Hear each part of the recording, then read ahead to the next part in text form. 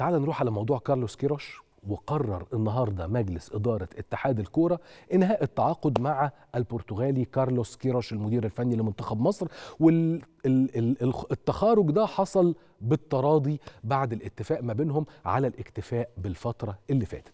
مجلس إدارة اتحاد الكورة عمل الجلسة دي النهارده لمناقشة مصير آه كيروش. طبعا للأسف بعد عدم تأهلنا لبطولة كأس العالم سنة 2022 في دولة قطر. وهنا يجي السؤال يا ترى هل ترى مين بعد كيروش وهنا بقى هنبدأ نرجع للمحللين بتوعنا والنقاد الرياضيين وكتابنا الرياضيين الكبار. يقولوا لنا يا ترى الترجيحات ذاهبة إلى مين؟